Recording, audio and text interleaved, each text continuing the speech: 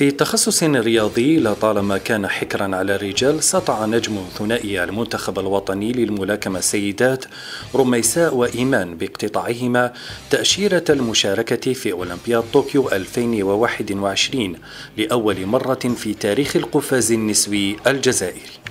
دايما نقول بلي الملاكمة أنا هي اللي خيرتني ماشي؟ أنا اللي خيرتها. لأنه ملفول ما جاتنيش كامل في بالي بلي ندير la boxe كنت نشوف فيه كيما الناس كامل كانت تشوف فيه sport agressif ماشي؟ ماشي؟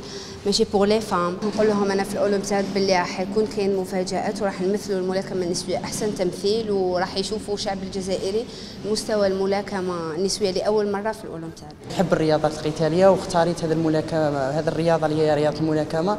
كرياضة خاصة بي والحمد لله نجحت فيها. أول مرة في التاريخ راح تكون ملاكمة نسوية حاضرة في الاولمبياد النخبة النسوية ورغم تداعيات فيروس كورونا تواصل تحضيراتها تحسبا للمشاركة في البطولة العربية. المزمع إجراؤها بالكويت شهر فبراير المقبل.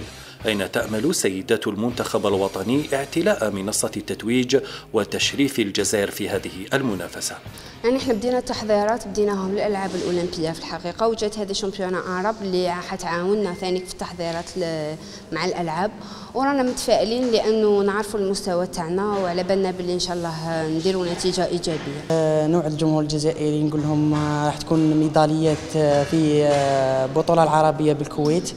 راح نحضروا أحسن تحضير إن شاء الله. راح نديروا ما بوسعي ما بوسعنا باش نشرفوا ونرفعوا الراية الوطنية. إيمان ورميساء صنعت الاستثناء بممارسة رياضة رفعتا فيها سقف طموحهما بتمثيل الألوان الوطنية في الأولمبياد ولما لا تسجيل اسميهما في سجل تتويجات الجزائرية.